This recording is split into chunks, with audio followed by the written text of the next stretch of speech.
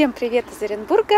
Меня зовут Алиса Селезнева. Совсем недавно я стала участницей группы 1 плюс 1 равняется 11, тандем Юлии Дмитриевой и Андрея Баташева, и уже оценила, насколько полезный контент находится в этой группе. Спасибо вам большое, что отвечаете очень профессионально на все вопросы, они действительно дают силы и знания. И в связи с этим я хотела бы задать свой вопрос. А, мой вопрос будет касательно сетевой индустрии, и я очень надеюсь, что он может помочь а, всем новичкам, которые только-только присоединяются к сетевому бизнесу. Юль, вот очень часто, когда человек приходит в бизнес, у него очень много страхов и сомнений. И один из таких вопросов, который посещает практически каждого новичка, а что обо мне подумают?